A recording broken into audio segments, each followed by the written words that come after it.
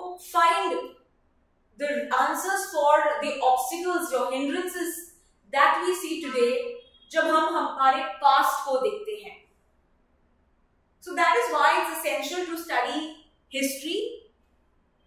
And अगर हम history की बात करते हैं, then how do we study history? Okay, so what are our ways to understand कि पहले के time पे क्या हुआ? Right, we don't have the modern media that back then to see, to date back कैसे हुआ, कैसे सब कुछ processes कैसे हुए. We don't have a kind of a time machine to go back. So what is our ways to study that period?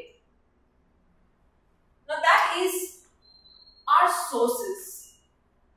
So हमारे sources become very important to study about any particular period. And there are two kinds of sources. कौन से दो kind of sources है? First one is literally source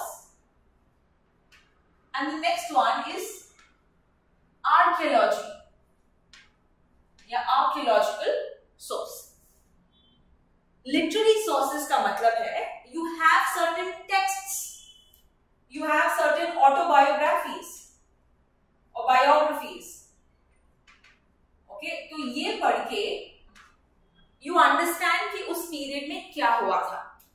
So you have during Akbar's time you have his autobios biography you have certain courtesans who are there in the king's court poets writers जो उस time के period के बारे में लिखते थे। मुगल के time पे डेली सल्तनत के टाइम पे मेडिकल हिस्ट्री के टाइम पे राइट और एंशियन हिस्ट्री के टाइम पे भी as well in the later phase we see that there were people who used to write historians back then. And then you have the archaeological sources which are mainly your material remains. Okay? Material remains ka matlab kya hai? That means you have your various pottery, you have the tools that they used, you have certain uh, kind of equipment or coins that were used back then, certain inscriptions, right? Inscriptions that were engraved in either a stone plate or a copper plate. तो इस time से हमको पता चलता है what exactly were the happenings during that period. right? We understand about the use of various articles. So we have these two aspects to understand कि किसी period में क्या हुआ कैसे इवॉल्व हुआ उसके बारे में हमको पता चलता है Now, if they ask you a question, which of the sources are a better way of understanding history? यानी कि is archaeological source better than literary source? Or is literary source better than archaeological source? If they ask you maybe even in interview, let's take a pause and you see what would be your answer. What would you think कौन सा source better है समझने के लिए the history of the times let's start with archaeological source okay archaeological sources के benefits क्या है what do think is a positive to get और to study archaeological source firstly we will get various articles equipments मिलते हैं and that will be able to tell us about the period जब हमारे पास कोई written text नहीं थे so to understand a particular period before having the written text that we usually rely to understand about history. उस time से पहले like for example stone age के time पे when we don't have written text these material remains maybe pottery maybe bone tools and stone tools they become important for us to understand about the period it also helps us to understand कौन से time period में हुआ है and it is more legitimate form of source because यहाँ पे हम scientific techniques use करते हैं like carbon dating radio activity इनके कारण we understand about what could be the exact time frame that a particular incident must have happened. Okay, you get a time frame. You may not get the exact year, right? But you get लगभग इस century के आसपास ये हुआ होगा by using certain scientific methodologies.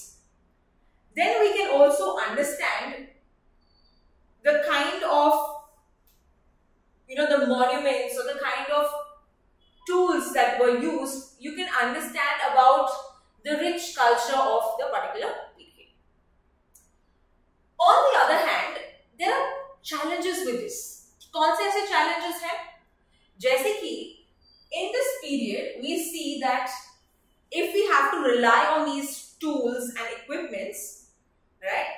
हमको नहीं पता ये किसके लिए इस्तेमाल हुए हैं okay, so if we have certain kind of monuments that were received, जैसे कि कोई स्टैचू मिला है, ये स्टैचू का वर्शिप किया होगा या ये डॉल की तरह खेला होगा? You don't know the reason why और what was that particular equipment used उसका यूज़ आपको नहीं पता है। तो यहाँ पे आपको एक अंदाज़ा लगाना होगा कि एग्जैक्टली exactly क्या और किसके लिए इस्तेमाल होगा? So that is one challenge not knowing the exact use of that period और of that particular material remain you must have got some tool you don't know what exactly was it use for the second under problem is with this is with regard to ये जो carbon dating scientific methodology की बात करती हूँ मैं this is firstly costly okay ये जो excavation का प्रोसेस है जहाँ पे आप खोद के निकालते हो you have to go way deeper the ground to find these material remains right तो ये जो एक्सकवेशन प्रोसेस है, ये कॉस्टली होगा।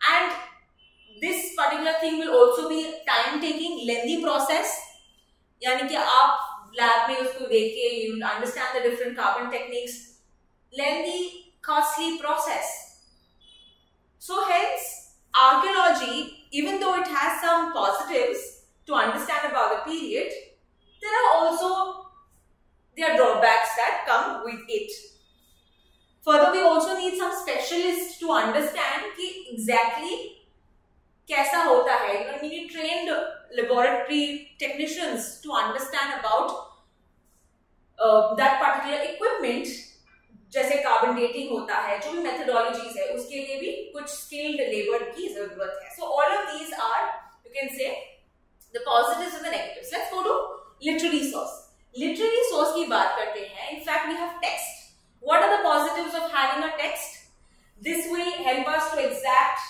to get the exact dates right जो भी हिस्टोरियंस होते हैं they normally write the dates there so we know exactly कौन से यू नो सेंचुरी में हुआ था कौन से ईयर में हुआ था so you don't have to do any further dating techniques to understand the time frame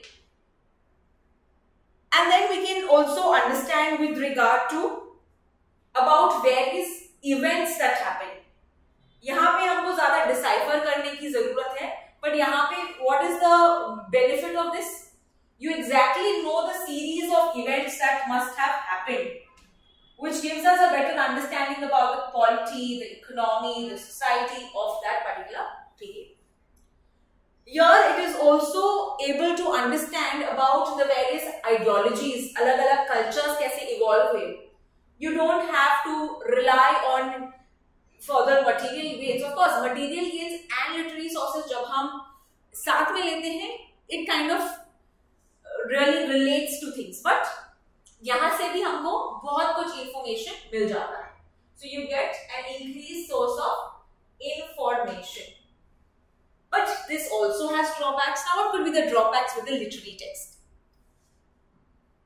now we see that ये जो राइटर्स थे they would live in the courts of these kings so when you are courtesan when you are living in the courts of these kings यहाँ पे you are generally biased to the king अगर कुछ king गलत चीज़ करता you would you would still be supportive of things you would write positive about the you would not even write the negative incident that must have happened because you are patronized by that court by the king तो क्या आप कुछ गलत चीज़ें लिख सकते हो? Definitely not so don't you think these texts will also will have a set of biasness towards it partial होंगे for the king. They can also exaggerate a set of things just so that they get extra luxury in life, royal life जीने के लिए. To be the good books of the king, they would make the king good in their books. Okay, so that is the drawback. And also these courtesans, these writers used to live in the king's court. So do you think they would understand क्या होता है in the life of the common person? Right? अगर वो महलों में रहते हैं उनको क्या पता कि कल्चर कैसा है इन द कॉमन पीपल और विलेजेस में कैसा लाइफ है उनका so we will not get certain aspect of the village life or of the common people, the hardships of the people. You'd only get maybe one aspect of it. Okay, so this is, you can say, a rough uh, pro and con of the literary and the archaeological sources. And if you have to balance your answer, it is nothing but telling कि आपको दोनों sources important है, literary sources as well as archaeological sources और साथ में जब हम इसको पढ़ते हैं समझते हैं a history of a times we will understand about the various aspect of our ancient India. Alright? So let's get back to the topic and now let us understand हमारा जो topic है prehistoric times. Firstly, why the name prehistoric? Prehistoric इसीलिए because firstly इस period में we did not have any literary source. तो इसी इस समय what would we use we would rely heavily on archaeological source इसीलिए इस पीरियड को कहते हैं pre historic times then we also have seen about proto history what do mean by proto history proto history is generally called और which period is called motor history जो हमने already देखा है द आईबीसी और the Harappan civilisation उस period को proto history क्यों कहते हैं? So we have archaeological sources we also have literary sources in IBC but they have not been deciphered what do you mean by deciphering a text यानी कि उस text में जो लिखा है हमको अभी तक पता नहीं चला We have not understood the writings of a particular text. Okay, there were symbols that were there, Boustrophodon, the writings, ये सब पता है, but we don't know what exactly they meant. Okay, so therefore, archaeological sources तो है ही, we rely on archaeology. We do have literary, but they are not much of use to us because they are not deciphered. इसीलिए हम इस period को बोलते हैं proto history and then comes our phase where we study about history. Okay, so you see how the progression happens. Prehistory is proto-history. Proto-history is a history where you have both archaeological sources as well as literary sources. So which period is called prehistory? Which period is called prehistory? The period that is generally when we talk about the Stone Age period. जैसे हम school में थे we must have studied about stone age period right now we will be understanding about stone age period a very easy topic जहां पे आप देखते हो कि how did the man then learn about different aspects about tools कैसे उन्होंने technology की सहायता से अलग अलग टूल्स बनाए and what what what was is livelihood and what are the different site in India with regarding to those periods and then at the end of the topic अर्टल mains understanding क्योंकि question ऐसे भी आ सकते हैं।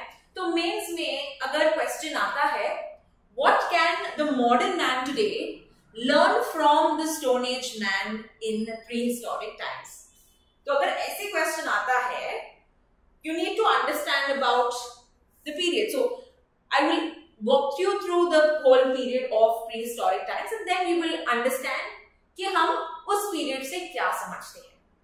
Now to understand about the prehistoric times, first let's understand the time frame when this actually happened.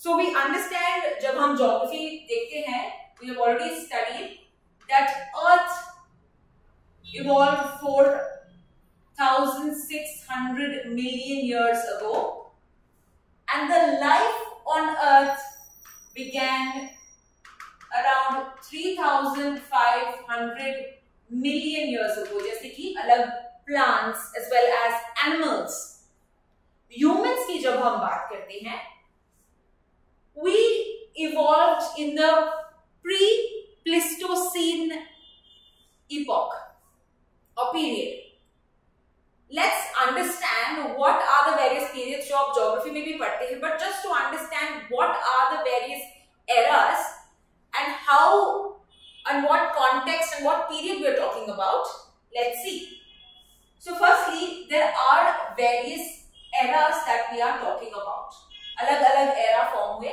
जैसे कि Archaeozoic okay then we have Proterozoic Paleozoic Mesozoic and Cenozoic okay so अलग अलग टाइम फ्रेम्स में ये evolve हुए and the recent one will of course be the Cenozoic era. ये era is further divided into different set of periods. Okay, now I'm not going to be discussing each, but we are interested to know about humans. So humans coming in the under Cenozoic era के अंदर दो kind of periods evolve Okay, the two periods are tertiary period and quaternary period. Okay, the two periods that we are interested in. Now, which is the latest period? The fourth year quaternary, right? So, quaternary period was essential because now we are understanding किस time frame में humans evolve so quaternary period will further be divided into different epochs okay and which are the different epochs there are two epochs that we are interested in that is pleistocene and holocene Okay. Tertiary period is divided into further five types, which is mainly the Paleocene, Eocene, then there's Oligocene and Miocene and Pliocene. But we are interested about humans इसीलिए मैंने बस ये दो quaternary period के अलग दो types लिए। Now as I से ह्यूमंस इवॉल्व कौन से पीरियड में कहा था मैंने? प्री प्लेस्टोसिन ओके इस पीरियड से थोड़ा पहले because you we don't we know it's not a sudden change that human scape we say that humans were similar to apes right because हमारे जो फीचर्स थे they very similar like bipedal दो पैरों पे चलना। We had a pot bellied we had a skull which had different capacity of brain that would hold so इसीलिए we see that humans mainly evolve from apes which mainly started in the pre Pleistocene era ना जब आप pre Pleistocene या Pleistocene era की बात करते हैं the time frame here is about 1.8 million years ago to 11,000 years ago. Now why are we giving this time frame? Why 11,000? Because this period is called as Ice Age period okay when there was snow around okay when there was glaciers around and then slowly the earth started warming up so jab warming up hua the kind of climate the kind of temperature that changed and this is the post ice age period okay and this is mainly after 11000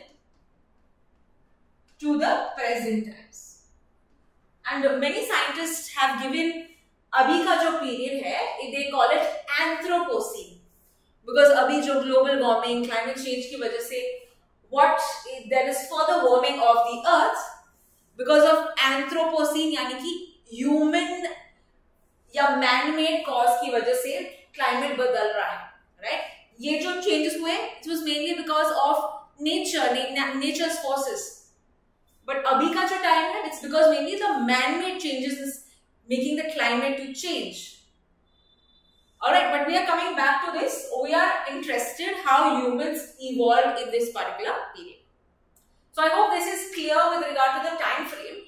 Now let's understand कि इस time period में हमको अलग-अलग fossils मिले. Okay, so it's not that fossils were found in India, Indian subcontinent, they were found in Africa as we know it.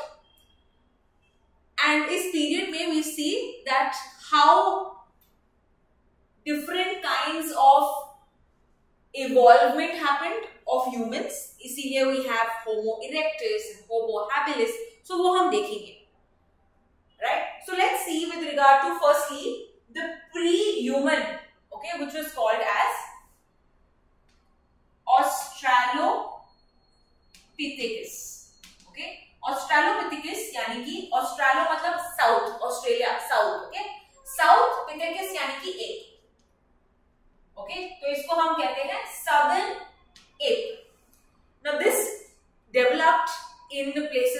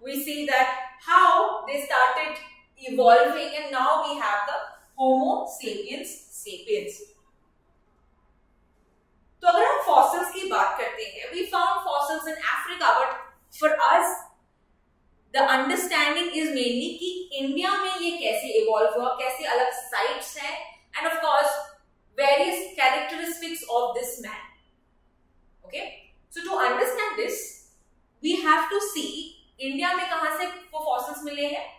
India में Indian subcontinent में, we see that we have received fossils in a place called Siwalik okay in Shivalik hills Potwar plateau यहाँ पे we have found fossils and we have named it Ramapithecus and Sivapithecus okay ये दो fossils हमको मिले हैं.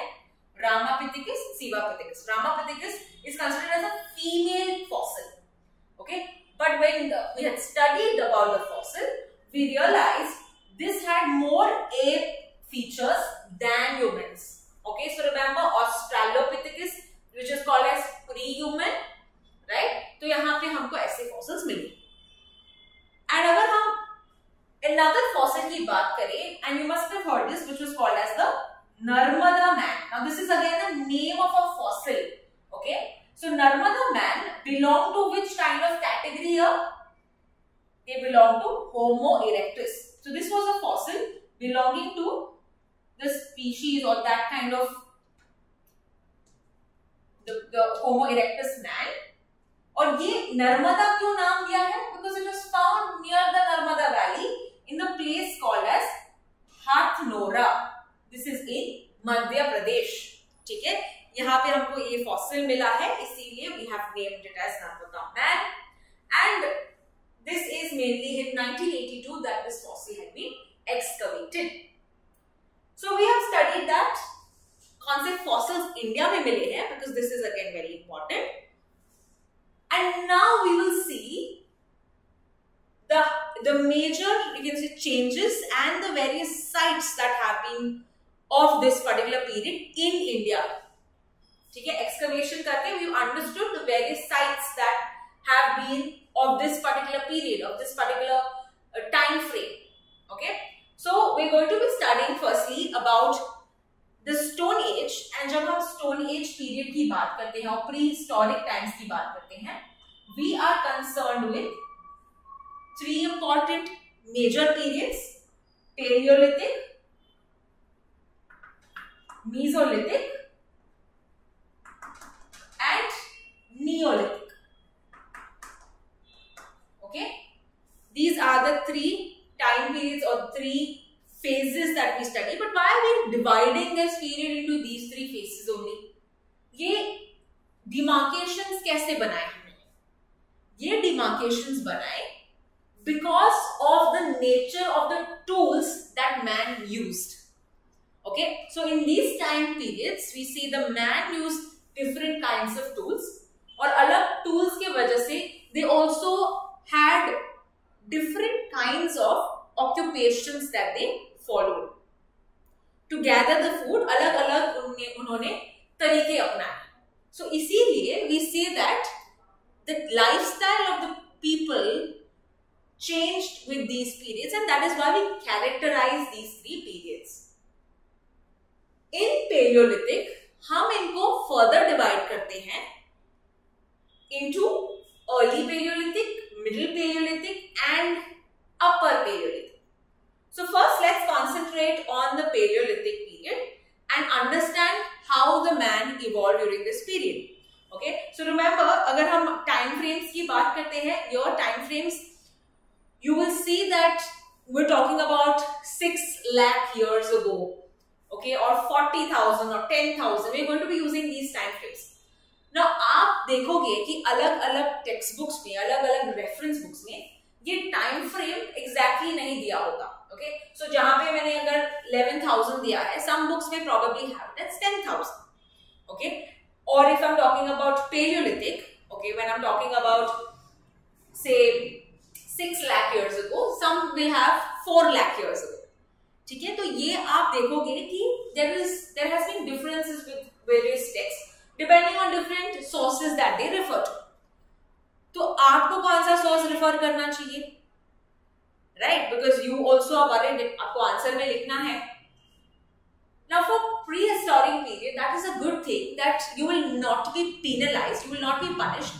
अगर आपने अगर दस हज़ार लिखने से आपने ग्यारह हज़ार लिखा। Okay then the examiner will not cut your marks जब आप रफ टाइम एस्टिमेट देते हो कि लगभग 9000 से 4000 Mesolithic man evolve rough times उसका 10000 और 4000 क्या तो भी कोई प्रॉब्लम नहीं है. Okay but again स्टाम this this is only for your pre historic period pre historic and your proto historic period okay? But when we have written text तभी हमको पता है विद रिगार्ड टू कौन से टाइम पीरियड में ऐसे हुआ था राइट और अगर हम मॉडर्न हिस्ट्री की बात करते हैं मेडिकल हिस्ट्री की बात करते हैं we know the time frame when things happen so if you talking about when this the August offer happen you have to give the exact year you can not write nineteen forty seven and come okay तभी modern history medieval history then we can say that you cannot be so relaxed about the dates. You need to know about the dates.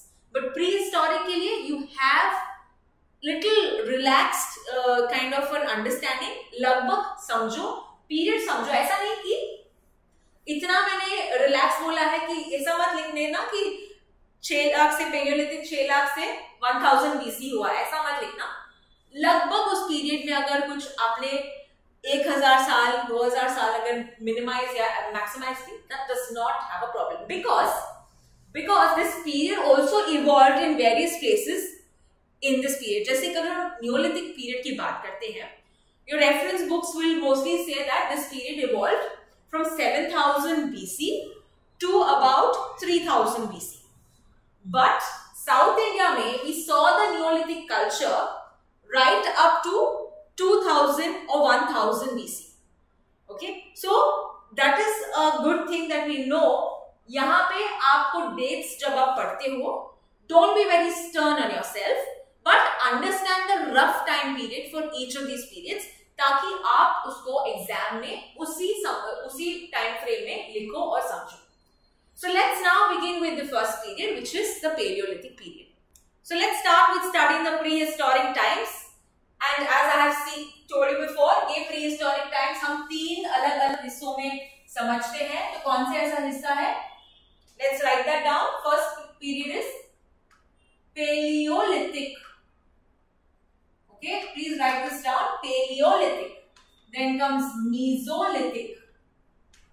And finally, Neolithic. Paleolithic period start हुआ in the 5 lakh BC to across 10,000 BC. इस time period में या तो palaeolithic age mesolithic age कब है? It is about 9000 BC to across 4000 BC and Neolithic period is from 7000 BC to about 2000 BC. Now some of you must have got a doubt कि ये 9000 to 4000 है तो ये तो 4000 से 2000 होना चाहिए why have I mentioned 7000 to 2000 you must have got the doubt if not that's good but if you got the doubt that is also good because here it is important to clear this right at the start कि जब मैं time periods की बात करती हूं या as की बात करती हूं it is not that the man completely evolved into the Neolithic man or Neolithic age. It is a slow and gradual process. It takes years together. हम ये थाउज़ेंड ऑफ़ इयर्स की बात कर रहे हैं। Okay we are not talking about ten twenty thirty forty years we talking about thousand of years so अलग अलग parts of the world में दिस पीरियड इवॉल्व जहाँ पे the man was using a set of tools ना imagine in one part of the world evolve होता है gradually of this Neolithic man who had more knowledge about tools, who tried about new occupations altogether, and that was followed for generations after generations. And that is how it spread over after maybe a thousand years later. Right? So, here we see that there is no clear demarcations of these ages. इस time period में भी कुछ जगह पे mainly the man would probably more evolved and he started with changing the way or lifestyle of himself.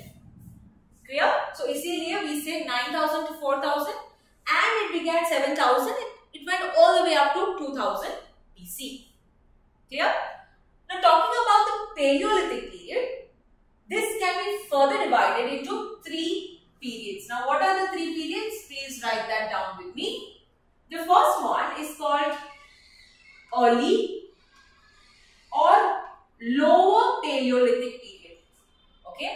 दूसरा period है middle Paleolithic period and finally the upper Paleolithic period okay now just for you to remember okay? कैसे कौन सा पहले आता है अपर होता है या लोअर होता है of course it is easier to understand but we'll just give it a clear conceptual understanding ये periods okay जहाँ पे excavation होता है this is the lowest part जहाँ पे excavation होता है then the second part is called as a middle and the third one is upper okay so remember excavation करके the नीचे में जो उनको टूल्स मिले हैं the type of you can say pottery मिला है, जो भी इक्विपमेंट्स मिला है that will be considered as the lowest या लोअर पीरियड फिर आता है मिडिल पार्ट में and then upper will be the more advance and the more recent time frame and that is how we can divide these three periods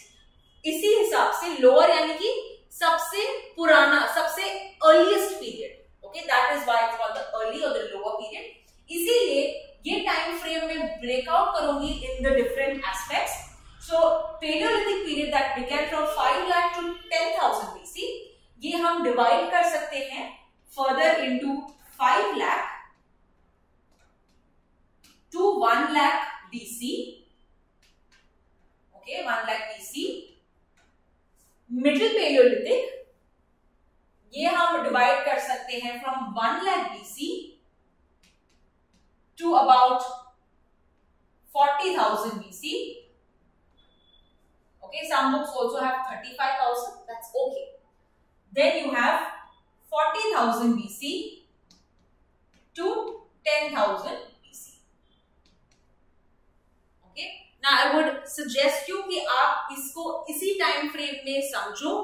Don't get confused. Okay, this has been an authentic source of information that you can refer to यही time period में और ये समझने के लिए भी easy है five two one one two forty forty two ten okay now we are also going to collate this with our जो हमने स्टार्ट में किया था Pliocene and Pleistocene and Holocene याद है आपको 1.8 मिलियन इयर्स अगो से ऑल द वे गया है 11,000 so you see 11 upper and middle was mainly in the Pleistocene epoch या पीरियड right वेराज अपर में जब हम जाते हैं 11,000 onwards right it's going to be a new kind of period okay and that is why probably the man had to evolve according to the change in the climate why change in the climate because हम कहते हैं ice age period and post ice age period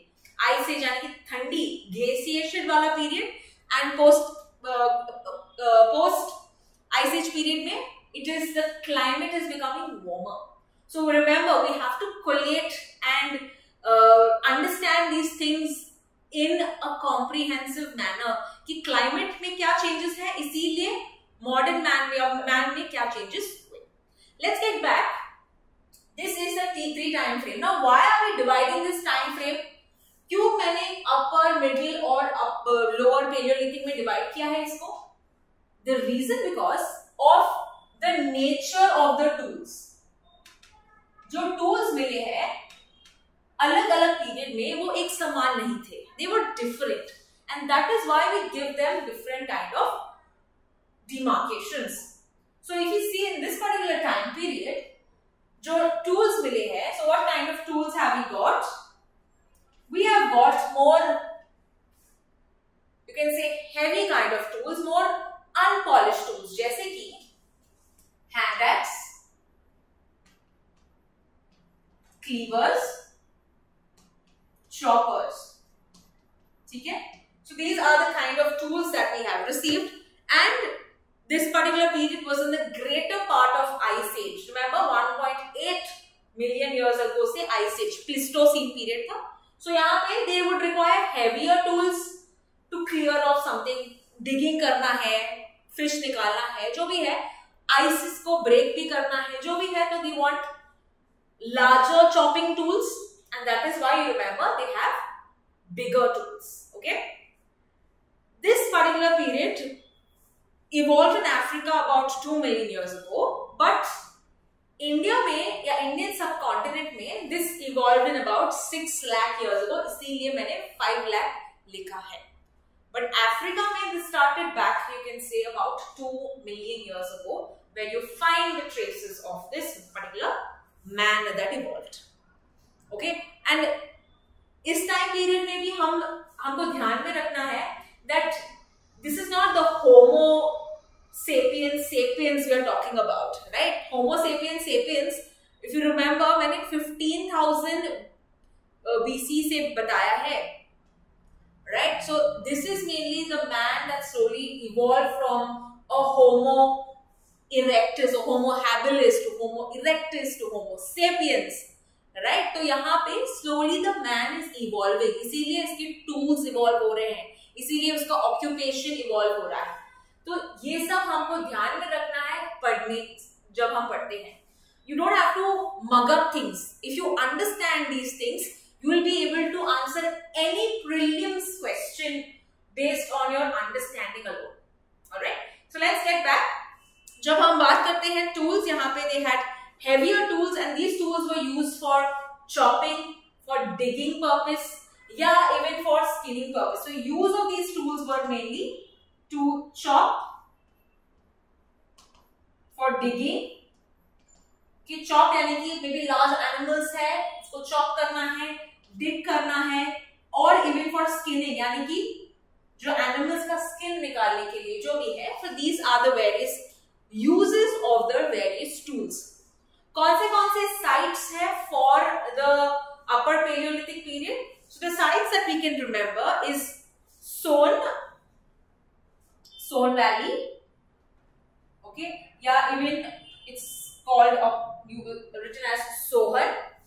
This is in uh, the region of Punjab. Okay, and we are talking about the Indian subcontinent. So यहाँ पे Punjab will uh, will be Pakistan side. Okay so remember this हम Indian subcontinent की बात कर रहे हैं before independence so remember Indian subcontinent is what we are going to be studying even when we're doing when we see Harappa, right? Many sites that are there in Pakistan, sites that are there in India. Okay. Going ahead, we have in uh, regions of Kashmir and Thar as well. Okay, which sites of this origin that have been formed. Thar desert in Rajasthan.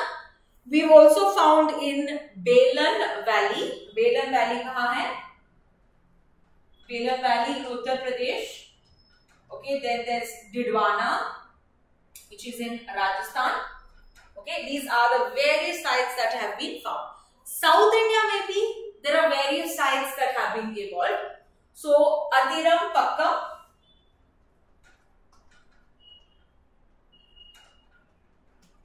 Okay, this is in Tamil Nadu. Okay, along with this, we can also talk about Vidamadurai and Gudiyam. Gudiyam as well as Tamil Nadu. Okay? So, these are the various sites that you remember for early or lower Paleolithic. Okay, or again, other other sites I'm going to be giving in your notes. अभी के लिए examples आपको याद रखने हैं तो यहाँ पे कुछ एग्जाम्पल्स आप याद रख सकते हैं Let's get to the next side. Now middle Paleolithic हम divide करते हैं on the basis of tools. तो यहाँ पे you remember the tools have changed. How the tools have changed? Here the tools are called as flakes. Okay, that means जो man था अभी he they started polishing their tools. Okay, जो अभी tools जो बहुत heavy chopping थे like very uh, huge थे they started making it more polished. they started it making more sharp. So hence these flakes are mainly examples like blades, borers, okay, scrapers.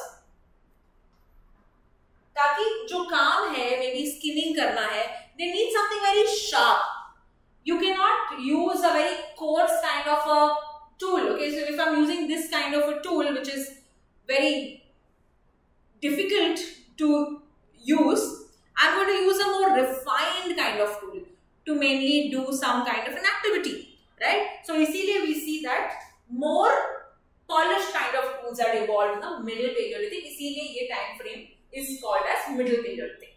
Now, what are the sites? You will find similar sites that are there like Bhimbetka, uh, we also find which is in Madhya Pradesh and remember ये important भी है because यहाँ पे the rock cut architecture the rock cut prehistoric paintings जब हम बात करते हैं we study this in art and culture ये यहाँ पे हमको इंफॉर्मेशन देता है कि what could be the occupation of the people what was the social organization of the people during those times okay and then we find luni in rajasthan okay chittur as well as Karnool in the south. South के भी sites आप ध्यान में रखना because match the following आ सकता है prelims में anything and anything uh, UPSC can ask. So remember, remember these sites as well. So remember occupation क्या था of the Paleolithic man? It was mainly hunting and food gathering. Okay, यानी कि maybe some plants they had to pluck, fruits. That is what the major occupation, or you can say that is what was their livelihood, how they were able to sustain themselves. ठीक है so remember this so that is why the type of tools भी आपको वैसे ही ध्यान में रखना है and then finally we have the upper paleolithic and यहाँ पे you find the period remember it is the last phase जहाँ पे the glaciation या the ice age period is there because 11000 BC के बाद we have the Holocene period so यहाँ पे it's the last phase and that is why we study about the Paleolithic phase and do remember this slowly now after glaciation के बाद क्या होता है? There will be more और presence of grassland right after the ice has melted you will find what grass will come up right the temperature will be getting warmer plant species will be there in abundance okay so remember this aspect जब हम बात करते हैं। And then we find that the type of tools that were used were blades. Okay upper paleolithic mein kaun se type of tools hai blade. Then we have scrapers. We have burins. And these again tools were more polished. These kind of tools were more polished and if you talk about the different sites that are there we have Son Valley, Balan Valley,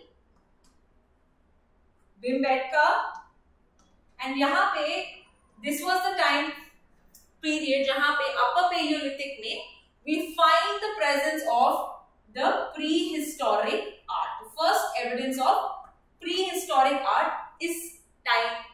period में. Okay? तो prehistoric art यहाँ पे हमको information मिलता है about the social organization of the masses during this period. यानी कि उस टाइम पे because of the paintings of the period, we understand कि what they would hunt Okay, what was his strategy? We understand what kind of tools, bows and arrows. सब कुछ हमको पता चलता है because of the paintings so yeah remember the paintings tell us that they moved in bands bands का मतलब क्या है? It is group of people going together for hunting okay so this paintings के थ्रू हमको पता चलता है that they form an organisation mainly a set of 25 people going together for hunting because we are talking about large animals right? Large animals. So ye jo large animal hai then would be further divided among the people themselves so that they could feed their family or they could feed their people that were living. Because that time the concept of marriage your family had not evolved right? They were just living in groups. So that is where they can feed their groups. And this is where uh, we talk about the period जहाँ पे hunting gathering evolved, hunting gathering was carried on, the evidence of cave art began. So this was about the Paleolithic period. now let's move on and understand about the mesolithic period okay so अगर हम mesolithic period की बात करते हैं we are talking about 9000 to 4000 BC now do you remember again I am repeating this ये period Pleistocene period है या Holocene period है? This period is Holocene period 11000 BC के बाद। ओके okay, उसके पहले क्या है? आइस एज पीरियड है। ये period is called as the post ice age period now where the earth is warming up the temperature is coming down okay तो बहुत सारे अलग चेंजेस होंगे जिसके कारण मैन जो है he will also start with a different kind of an occupation along with hunting and gathering he will have new kind of tools okay because man has to evolve according to the times not just today but even back then so let's understand कौन से ऐसे changes हुए हैं कौन से ऐसे sites हैं and so so mesolithic is a transition period from paleolithic and neolithic period Okay remember ये ट्रांजिशन पीरियड है, इसीलिए इट्स कॉल्ड द मिडिल और द मीजोलिथिक पीरियड जब हम इस पीरियड की बात करते हैं the occupation of this is again hunting and gathering and a part of this the the this kind of animal uh, this kind of man started also, started slowly domestication of animals. Okay? In the later phase, domestication of animals also began. Now let's understand how did the type of tools change. Now tools kaise honge during this period? The tools were mainly microliths. Microliths ka matlab hai tiny tools. Okay, small tools. And these tiny tools were essential for a number of things. पहले समझते हैं ये छोटे tools why did these small tools evolve? Okay, so let's understand. Holocene period है that means climate कैसा है cold है या warm है Holocene is post ice age post ice age यानी कि climate will be warmer right जब climate warm होगा, यहाँ पे जो एनिमल्स है okay these animals were mainly large right you must have seen an Ice Age movie if not you must have seen the poster Ice Age movie जैसे वो बड़ा सा एक एलिफेंट होता है very heavy elephant okay so those animals are usually large ताकि body heat you know will be maintain right normally have those big animals Now these animals, when the temperature is becoming cold, either they will become extinct or they will migrate to colder places, right? Migrate होंगे to colder places, to colder regions. तो जब ये बड़े animals नहीं होंगे, man has to hunt for smaller animals. The smaller animals will now be have to be hunted और इसके लिए मैन हैज़ टू इधर रन फास्ट बिकॉज़ ये छोटे एनिमल्स हैं, बहुत तेज़ी तेज़ी से भागते हैं। सो इधर you have to run fast और you need to have an equipment that you can catch them by being far off right यानी कि इस्तेमाल करके things like bow and arrow right that means new tools that need to be evolved. We cannot have huge tools okay for hunting now we need sharper tools precise and flexible tools ताकि अभी क्या है ये जो fast animals हमको पकड़ना है for that we need tools according to this so इसीलिए we see that new tools have evolved and if I have to take this further later on क्या होता है now the man will not run पहले you know there was an activity so now the man does not have to run and the body weight, body weight or body fat will now increase. क्योंकि अभी ये जो new tools are helping him without running. So this will increase the body fat in uh, in man. Body fat जब increase होता है this is going to increase the fertility.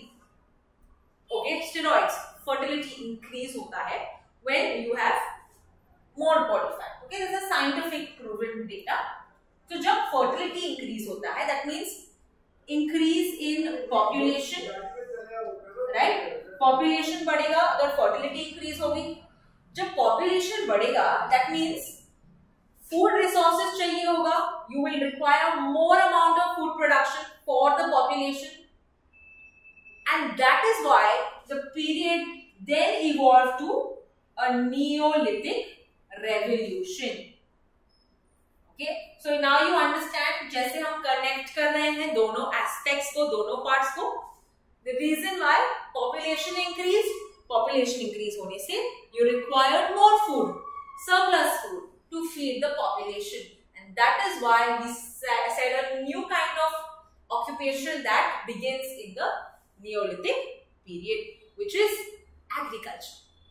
Coming back to Mesolithic period तो Mesolithic period में हम देखते हैं कि climate change हो रहा है and that is why new tools have evolved new tools like microliths evolved and another uh, way that you can understand this also is जब temperature decrease होता है uh, in fact temperature becomes warm during the Holocene period the nights still become cooler. Okay, so let's understand this aspect as well.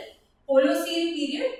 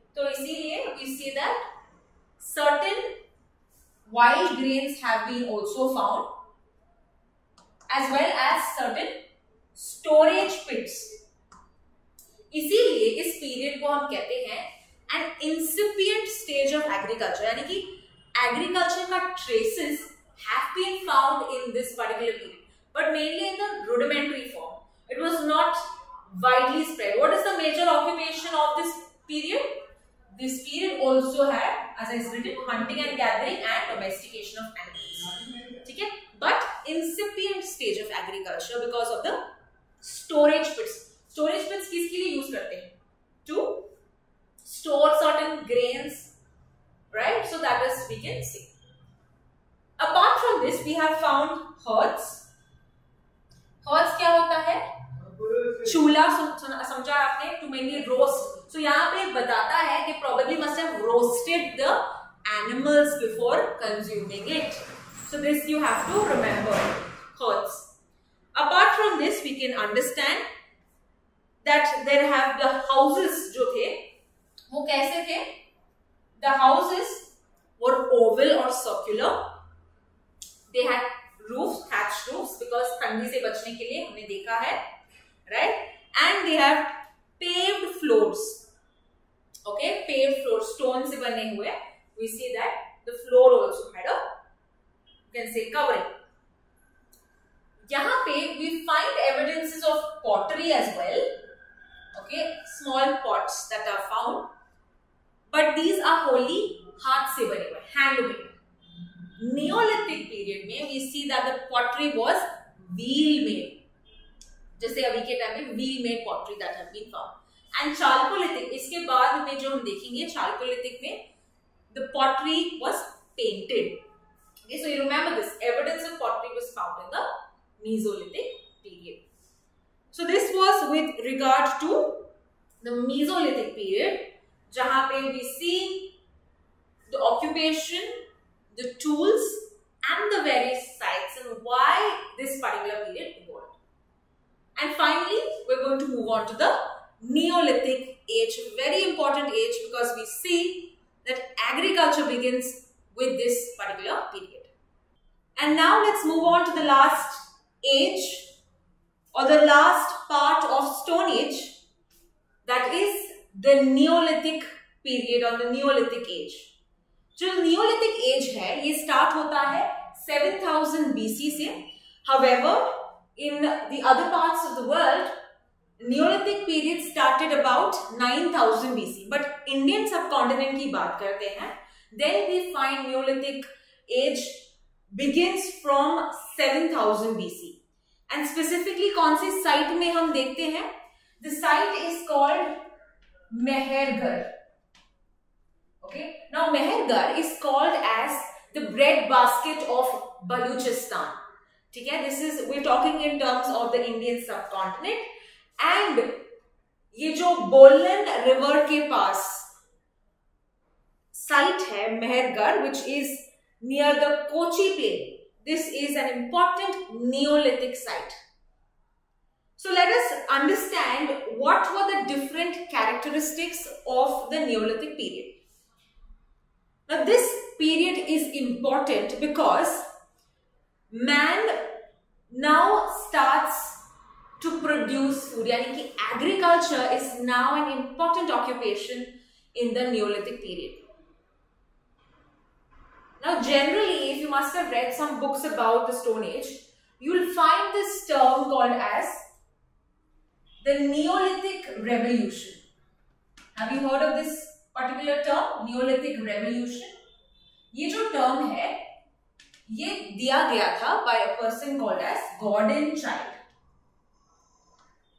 okay so he calls it as not neolithic period but neolithic revolution Now when you say revolution, हमने सुना है तो French Revolution no revolution mean something which is very remarkable something that is game changing that is something that is drastically changing a particular scenario तो क्या हम Neolithic period को Neolithic revolution कह सकते हैं?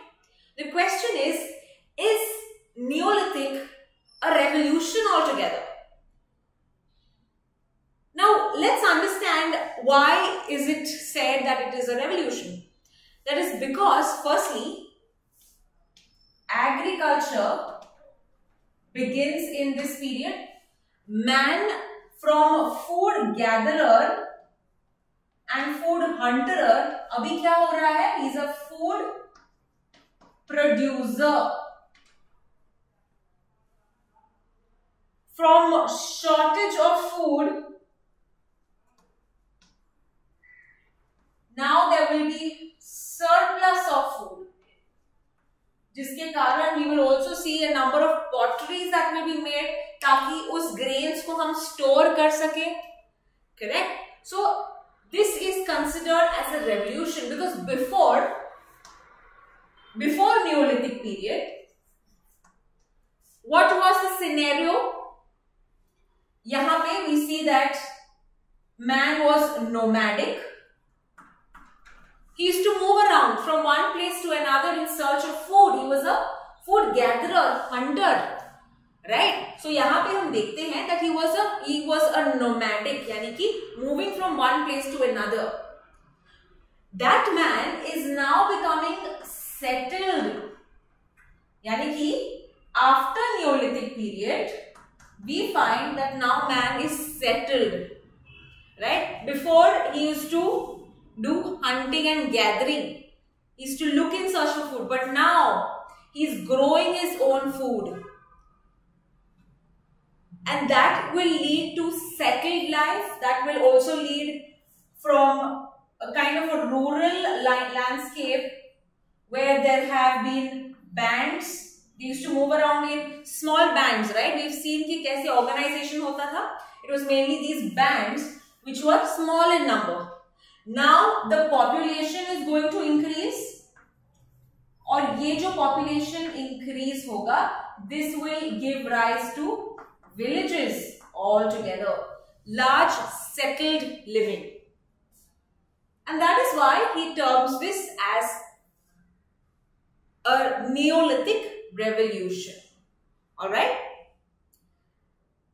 now, let us see what are the characteristics, what are the various sites of Neolithic period. So, starting with, let's understand the sites.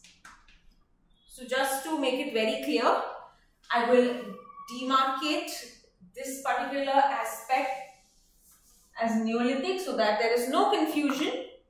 Okay, तो हम sites की बात कर रहे हैं and कौन से sites हैं देखते हैं now I can talk about the various sites of Neolithic period in various parts of India. So here we see that Neolithic sites are located in northwest.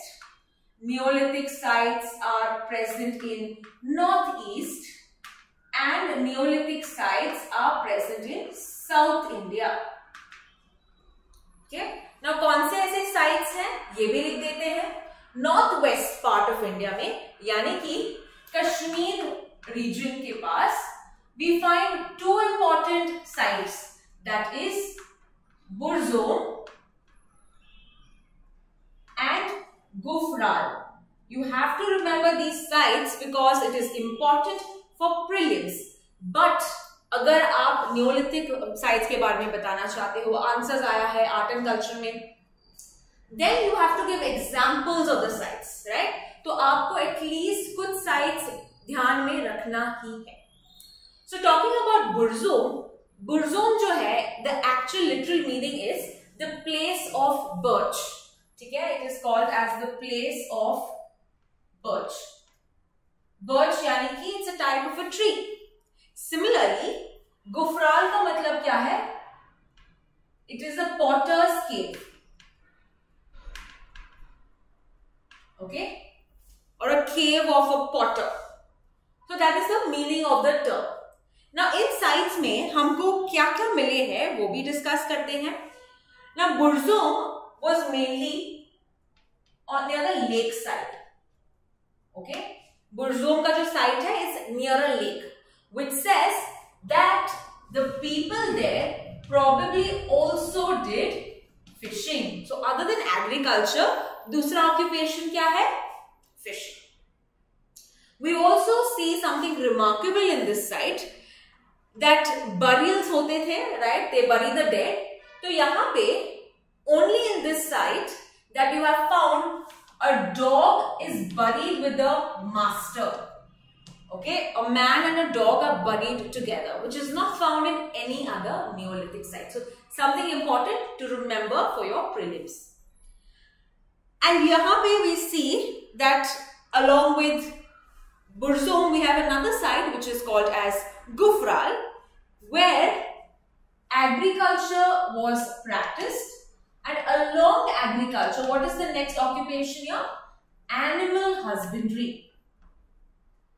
ठीक है ये दूसरा so we talked about domestication of animals that was also practiced in the mesolithic period later part of mesolithic correct तो यहाँ पे भी कौन से occupations practice किए गए हैं ये भी आपको note down करना है so we are discussing the sites but we are also discussing about the characteristics of the period so far you have understood that what is the major occupation agriculture along with agri agriculture you have animal husbandry as well as fishing. Examples bhi de sakte hain across that particular uh, you can say occupation. Then let's understand what are the tools that were used. so we have found some tools in this particular sites as well. Tools ki jab hum baat karte hain in these particular sites we find stone tools as well as bone tools ठीक है तो यहाँ पे tools are not just made of stones they are also made of bones and these tools were also very polished all right so that is something that you have to remember with regard to tools that have been found other than this we have also found pottery in these sites kaise pottery mila hai pottery which is mainly coast grayware coast grey ware. So you remember we have found handmade pottery in the Mesolithic period. But abhi jo pottery humko milenge, it is going to be through a potter's wheel or the wheel made pottery. Okay, so more sophisticated uh, type of pottery. और ये जो pottery है, this will have various functions. Okay, now they are going to make pottery mainly for certain functions. Like for example, they will utilize these potteries for eating, for drinking, for storing, all of the uh, functions that have mainly are being used for these kind of potteries. It's not for show or not just an artifact. Okay. Then we find with regard to the next particular site which is northeast. Okay. So let's understand what are the various sites in northeast. Now northeast that means we have the regions of Assam Hills, we have regions of Garo Hills. Garo Hills कहाँ पे है? Meghalaya. And Uttar Pradesh के side में भी, okay, we have Uttar Pradesh, we have certain sites. So here we have the sites of Koldiba as well as Chiran. ठीक है ये कुछ sites हमारी eastern side as well as north eastern side में आपको ध्यान में रखना है mainly for the neolithic culture okay and finally if you talk about south India site in the south again we have found a number of sites okay now let's understand what are the various sites so we have Maski Brahmagiri Paiyampalli Utnur okay so Maski and Brahmagiri Karnataka Paiyampalli Tamil Nadu Utnur Andhra Pradesh ठीक है? These are some examples आप देख सकते हैं for your south Indian state ना you notice we have discuss three important region जहाँ पे neolithic sites were present Now the question that should come to your mind is why Neolithic sites that we see are present in this particular region.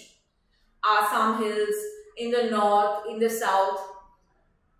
Now, what is the reason where, why they were located in that particular region? You will see that the Neolithic sites jo either they will be located near the rivers, okay, the river valleys. क्यों river valleys पे located होंगे? For water right you must see Indus valley civilization जो है वो Indus river similarly for agricultural purposes for water for the basic requirement and necessities they require water and इसीलिए ये river valleys तो यानी कि, जैसे चिरान है, कोलदीवा है you have Ganga as the major river south of the Godavari river we have certain important sites here. But and even lakeside हमने देखा fishing, okay, Burzone. So river valleys. And the second important sites jahan pe you will find is the hills. Now why do you think Neolithic people wanted to settle hills ke paas? What is the reason? Hills क्यों important हो गए? Hills के वजह से they would get stones which they would require to make various number of tools. तो इसीलिए you will find Neolithic sites either in hills or river valleys. And that is why you have number of hills like Assam hills, Garo hills, right? And even in the south, in fact, बहुत सारी sites यहाँ पे you will find near hills because there was easy availability of stone. Okay, इसीलिए if you say the largest number of sites that have been found of Neolithic, they will always be in the south. Megalithic architecture okay stones का ज्यादा use है let's get back and now understand further what are the various other characteristics तो हमने अभी तक cover किया है sites of the neolithic period we also touched upon a few characteristics of neolithic period let's understand a few more characteristics तो यहां पे characteristics की जब हम बात करते हैं we find that uh, as I said, animal husbandry was formed or occupation जब हम बात करते हैं the major livelihood they were also domesticating animals right so the domestication of animals what kind of animals did they domesticate if you get a question with regard to your prelims so cattle sheep goat these are the type of animals that you will find uh, that the uh, people domesticated. Agriculture hota tha, right? We talked about agriculture. But ye agriculture, konse crops would they grow? Okay, so this was with regard to rice, wheat. Okay, uh, other than this, we also find with regard to barley, ragi, horse gram, examples आपको ध्यान में रखना है। And we also find the type of housings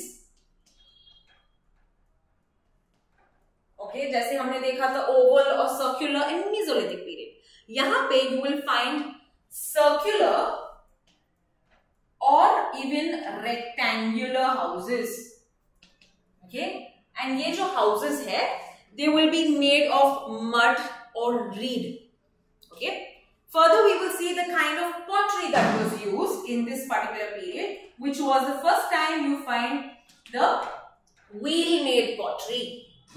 And यहाँ पे जो pottery था, it was generally a black burnished ware pottery or a grey ware pottery.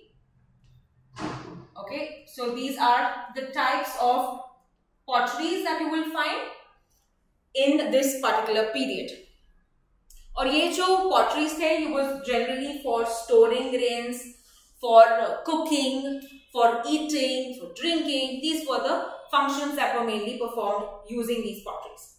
And finally, talking about the various tools present in this period. कौन से अलग tools present थे जैसे कि cells, axes, aids, okay there were tools like uh, we can say chisels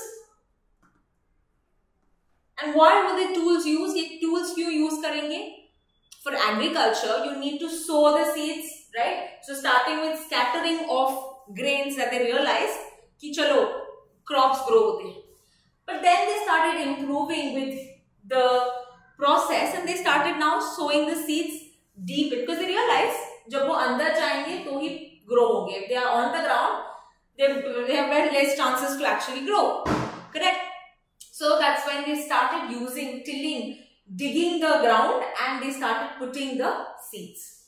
Okay. So these probably were used like cells were used mainly for tilling the ground just like a hoe or a hal jaisa plowshare. Uski taraf use hota hai. Okay. So we see great technological progress in the Neolithic period and yahan pe they dependent on tools, weapons and that is why you see where the location of these sites were as well. So this marks the end of Stone Age, but we are not done with our topic yet. ठीक है हमको और एक एक prehistoric culture समझना है and again this particular culture हम pre historic में क्यों डाल रहे हैं बिकॉज़ इस पर्टिकुलर कल्चर इस पर्टिकुलर फेज में we don't find any written evidences Okay, so that is why we are strongly relying only on our archaeological remains. So what is this particular site? Let us understand. And this, अगर मैं कहती हूँ कि this is not part of Stone Age, then what kind of phase it will be? Let's understand.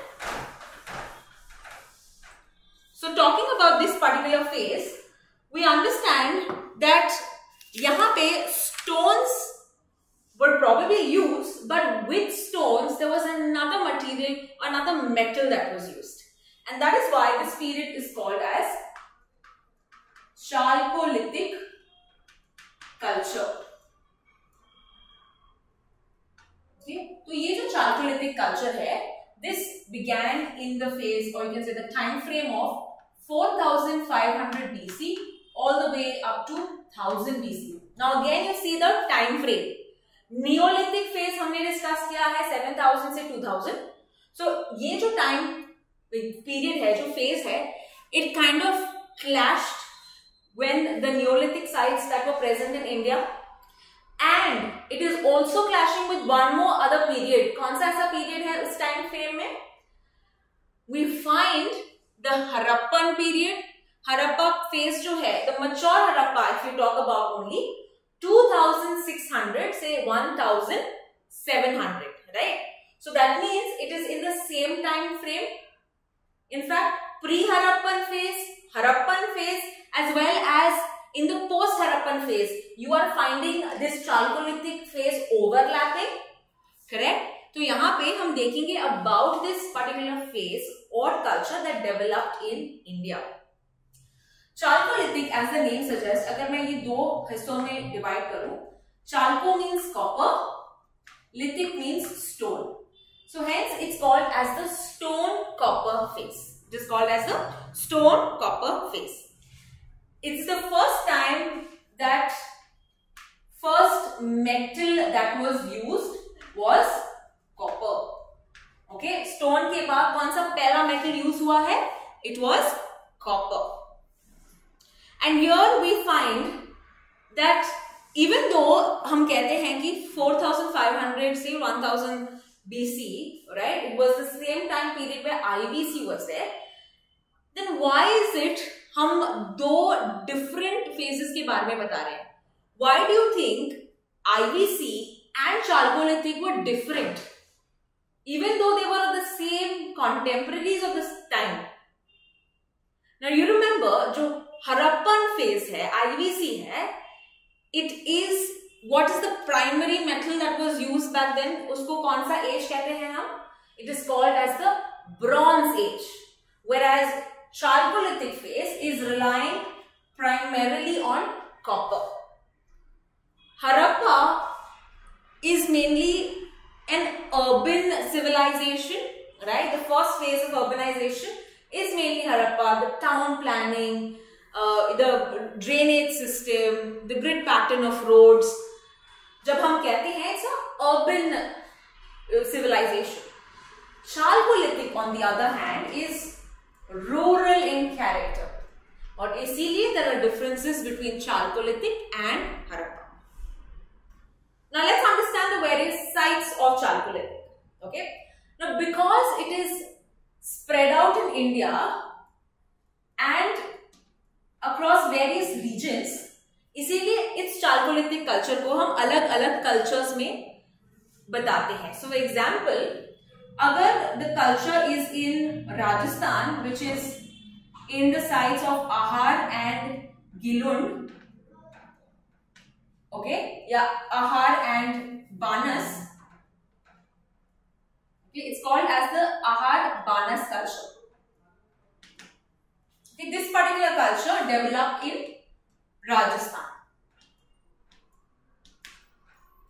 Similarly, Chalcolithic culture that developed in Maharashtra.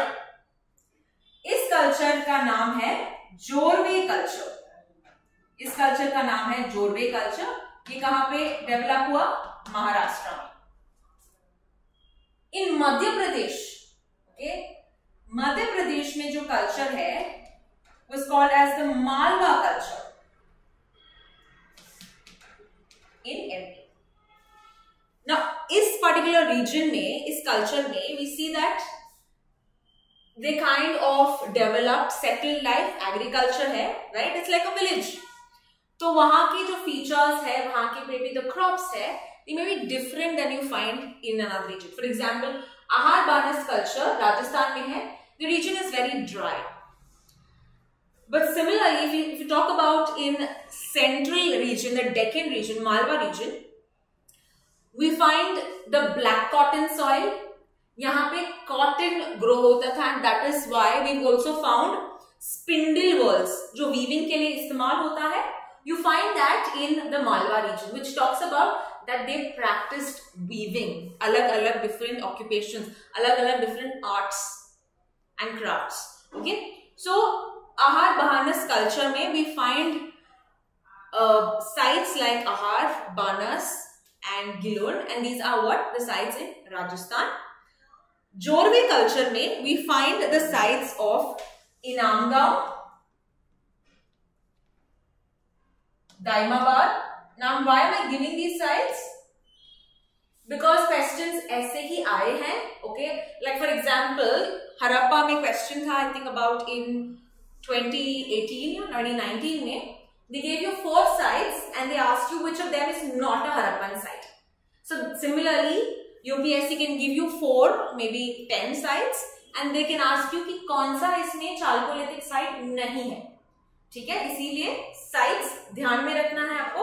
Inamgaon, Daimabad these are all the sites of Jorwe culture similarly we have Malwa culture Malwa culture के sites है Eran Navdatoli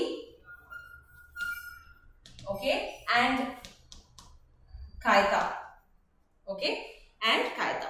So these are some sites that you have to remember let's now understand the various characteristics of the chalcolithic culture तो कौन से ऐसे tools use करते थे वहाँ का ऑक्यूपेशन क्या होता है uh, उस टाइम पीरियड में what is the pottery that was used all of this is what we're going to understand now so starting with the tools okay tools की जब हम बात करते हैं we understand that these use tiny tools okay small tiny tools that were used and they were mainly the blades and the bladelets that were used during this period okay smaller tools that were used maybe for digging purpose, maybe for cutting purpose. These were mainly the tools that you find in this period. The kind of pottery that we find, and this is very important because यहाँ पे पहली बार you will find that the pottery is painted. Okay, so you find black and red ware pottery which is also present in Harappan civilization. Harappan period में भी black and red ware है because again contemporaries है right so इसके अलावा you also find ochre colored pottery OCP ochre colored pottery okay further than this we also find कि अलग अलग types of pottery बने so there was a channel on a, a sprouted pot. There was a dish on stand. There was, um, you know, uh, the bowl on stand. Alag alag type of ceramics बनाए थे because अलग अलग इनका use है. They, you see a number of different kind of different types of pottery during this period. Talking about the occupation that was there,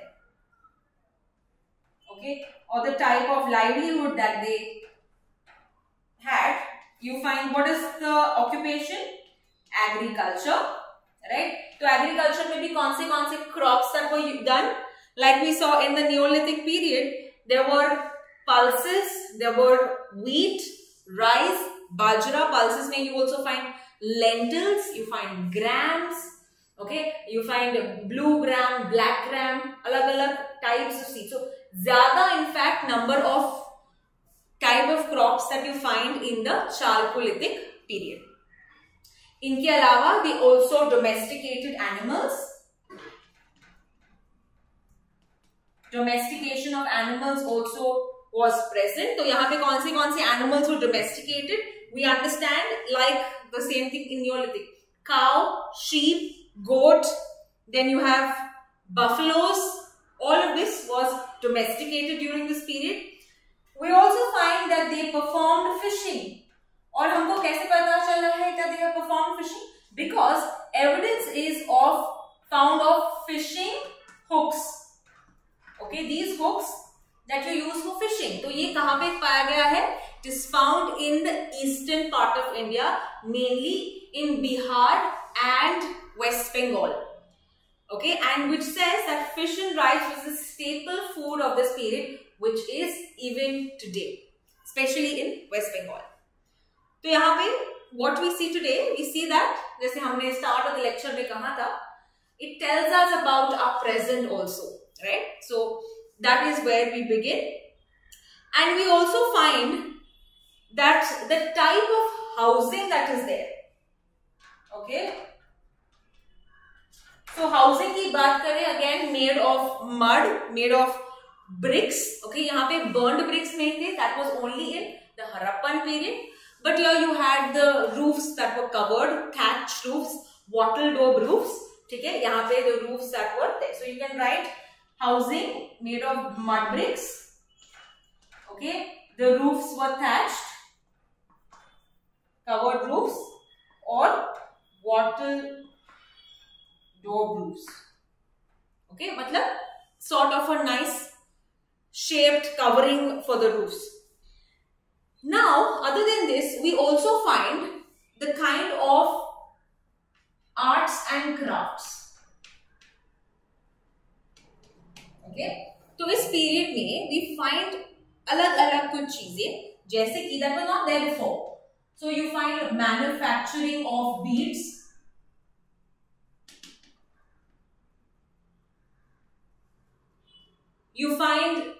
weaving okay and that is also because of the evidence हमको कौन सा evidence मिला है I've explained that spindle whorls which is mainly required for weaving purpose and we have found this in Malwa why we have found it in Malwa because Deccan region black cotton soil अभी के time पे भी cotton कहाँ पे है Deccan region right because of the soil so you find cotton that was cultivated even then, which was helpful in mainly, you know, weaving clothes and so on. इनके अलावा we find the art of smelting, okay, copper smelting. यानी कि copper का metal जो है you you know to heat it to mold it to make it and that was mainly found in Ahar because of the copper deposits okay resources that you find in Rajasthan region ठीक है बहुत सारा पाया गया है in the Ahar Banas region so यहाँ पे copper smelting again was used which again talks about there were copper smiths during that period तो अलग अलग type of arts and crafts that we find जो beads भी बात कर रहे हैं हम there were again different kinds of beads that were there steatite. There were beads of carnelian, quartz crystal. All of this was found in this particular period. And that is again continued in your Indus Valley civilization. इनके अलावा we also can discuss about the burial practice तो burial practice की जब हम बात करते हैं Remember Neolithic site, which is the site that had the master and the dog buried together? It was in the Burzom, northwest uh, site, Kashmir में. Okay, so वैसे ही आपको ये ध्यान रखना है. Burial sites in Chalcolithic, you find that they were put in urns. Okay, यानी कि बड़े से pots में, okay, like huge containers like thing urns में उनको बरियल किया जाता है एंड ये बरियल जो है It was mainly place below और beneath the floor of the house तो जैसे हरप्पा में और एक एक डिफरेंस हरप्पा में you had like separately asymmetry यानी कि अवे फ्रॉम द हाउस जहां पे the to bury the dead but chalcolithic में mainly in Maharashtra we find this that it was below the house only that they use to bury the dead in north-south direction. Okay. Apart from this, we see that uh, particular burial may we find a number of copper objects were also added in the site ताकि वो no, the, it could be a general practice that they used to think कि ये जो goods हम डालते हैं the person will use it in the next life okay that could be a possible thinking इसीलिए you find certain objects put in the grave of the dead. What about the religion of this period okay so हमने discuss किया है with regard to burial about the religion now इस period में हमको बहुत सारे terracotta चीज़ें मिली हैं. So terracotta figure of a woman okay they are found of a mother goddess of a buffalo okay तो बहुत सारी चीज़ें मिलने के कारण दे काइंड ऑफ़ रिलेट कि probably they use to worship the mother goddess and buffalo terracotta चीज़ें मिली हैं तो यहाँ पे they think that it could be some sort of a religious cult ठीक है? So this is where they say that they could be certain aspects of religion in this particular period.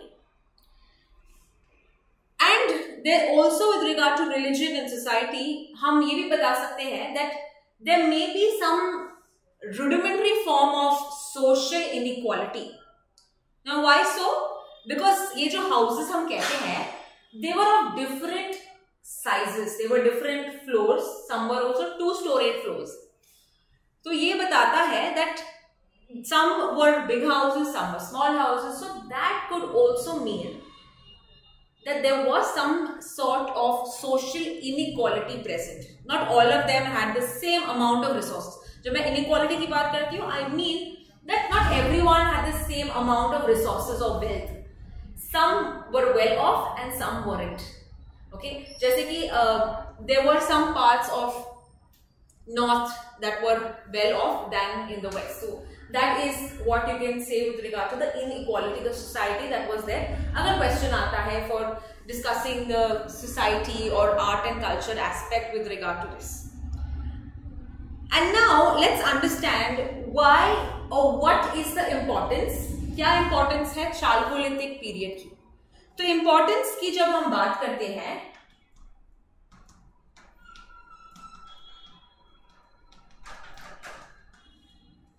we find firstly the art of smelting copper, which was not practiced before in the period before this. So the first time metal was used, okay okay, copper का इस्तेमाल हुआ है इस particular period में इसीलिए ये period बहुत significant है इंपॉर्टेंट है इनके अलावा we also find increase amount of agricultural crops that were grown right agriculture जैसे हमने कहा lentils and peas and grams and pulses तो यहाँ पे हम कहते हैं कि एग्रीकल्चर जो है स्केल अप हुआ विद इन दिस पीरियड यहाँ पे for the first time you find painted pottery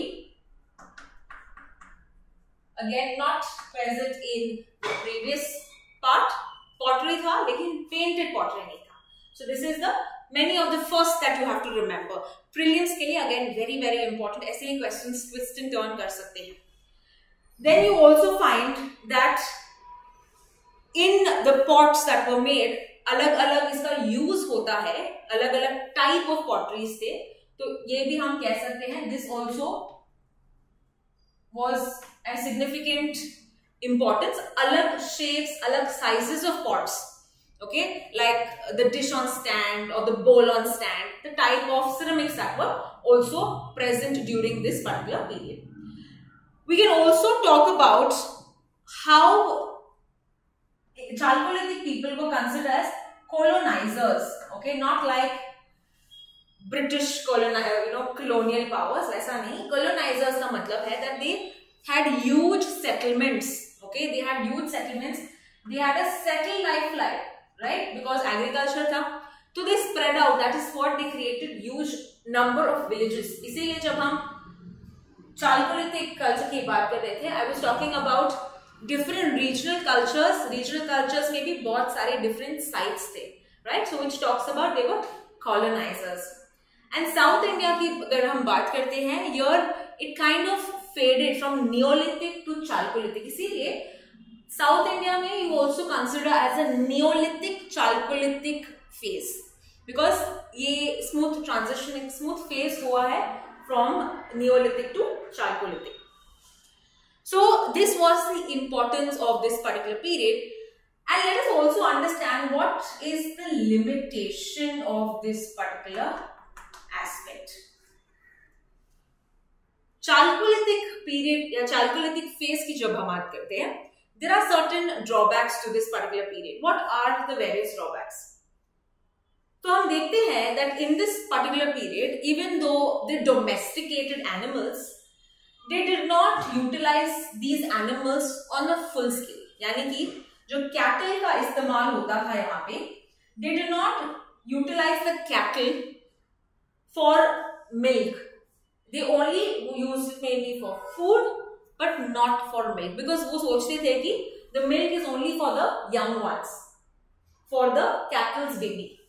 तो यहाँ पे इसीलिए we see that they had not understood about you know the animal husbandry or domestication in that regard. Further, we see agriculture was present, right? Now, agriculture was present, but there were still certain problems with it. जैसे कि we find a large number of burials of children. Okay, now very important. Burial मिला है जहाँ पे बहुत सारे children का skeletons हमको मिला है. Now, what does this say? अगर आपको चिल्ड्रन के स्केलेटन्स मिले हैं what does this say now this could say that they had lack of nutrition okay or there was some sort of an epidemic or they did not have any knowledge of medicine altogether. ठीक है तो agriculture होने के बावजूद grains होने के बावजूद there was some sort of a drawback a limitation because यहाँ पे हमको बरियल्स मिले हैं, बच्चों के स्केलेटल रिमेन्स मिले हैं। And further even region wise जैसे कि western and central part of India में we find that they did not practice agriculture on a large scale. So agriculture was not practiced mainly in West and Sen. Why do we say this? What is the evidence? Because Yamape, we have not found any extensive tools, yeah, you know, you can say weapons of copper or stone. Talking about plowshare, hose, जिसको, जिससे ये पता पता चलता है कि यहाँ पे probably agriculture was not practice okay और was not done in a large scale so because of absence of hoes and ploughs we can say that यहाँ पे there was limited use of agriculture the next drawback we can talk about the burial okay और we can talk about the metal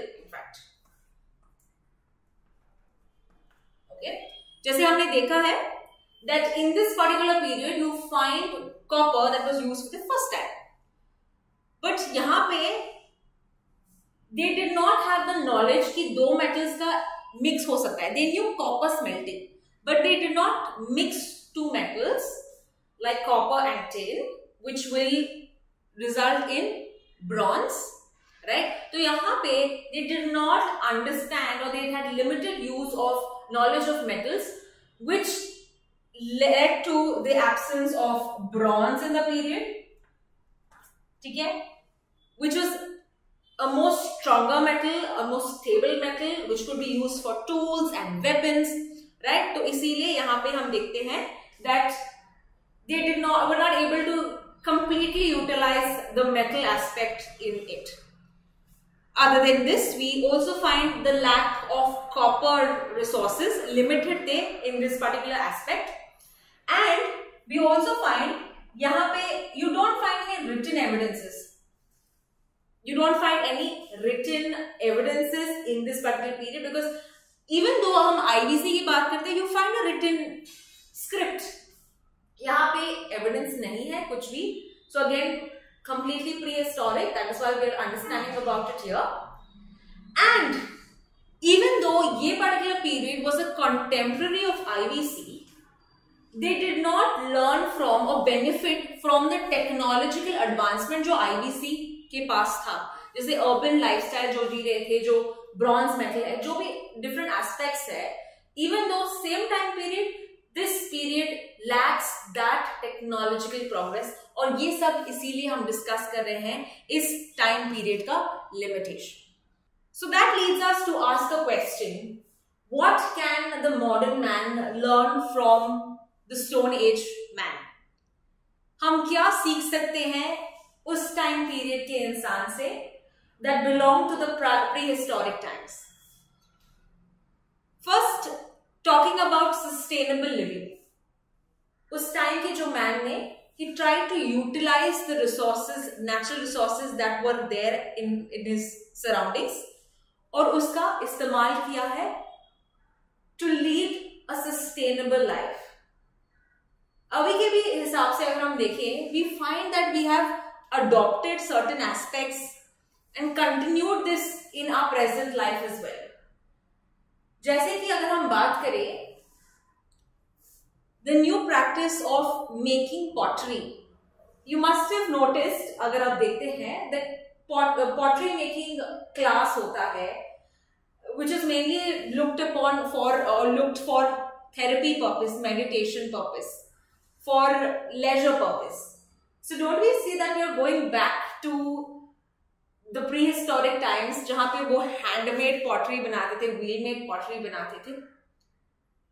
We also find during that period जहाँ पे manufacturing of beads है weaving है copper Smith है copper smelting है all of this present even today The other thing that we can understand the modern man can learn from the Stone Age man is about adaptability.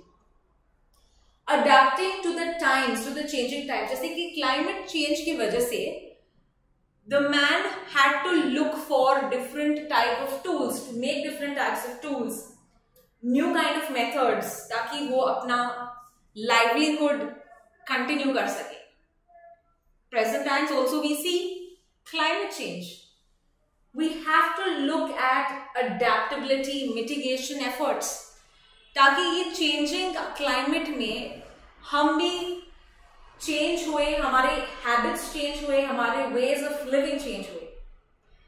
We also find with regard to the increase level of innovation that the stone age man है be it fire homo erectus man be it number of tools at were there different types of tools bone से भी उन्होंने tools बनाया। Which tells us about how we can also be innovative in our present time change according to it, the changing times.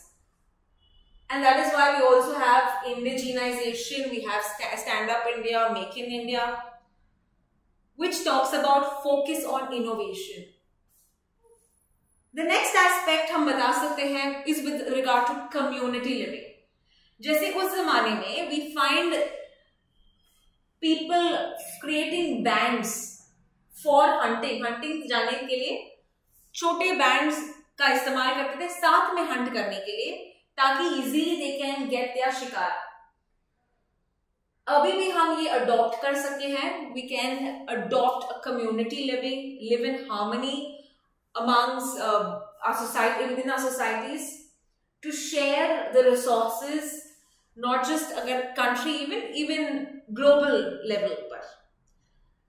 And finally man then knew the optimum use of resources not resources for is utilization ताकि वो जी सके not over exploitation and that is again what we have to understand बहुत resources थे plentiful resources but he utilize how much he required and that leads us to the end of our discussion जहां पे हमने discuss किया है prehistoric times starting from paleolithic all the way we've understood to chalcolithic phase. Pranam.